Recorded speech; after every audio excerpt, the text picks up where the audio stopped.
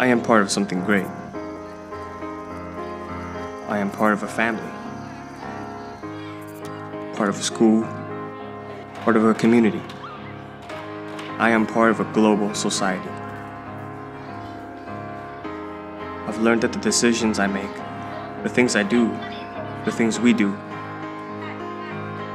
they can have a profound effect on the world out there.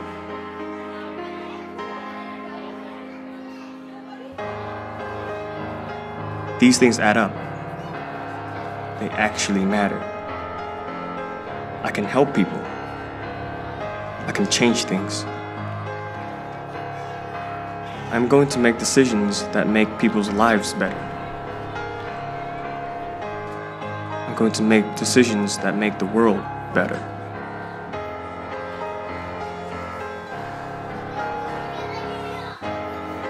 Sure, I could decide to ignore it all, to turn a blind eye to the great big world beyond myself. Or I can embrace it. I can engage it, care for it, and protect it. To me, the choice is clear. Because I may only be a part, but I am a crucial part of something great.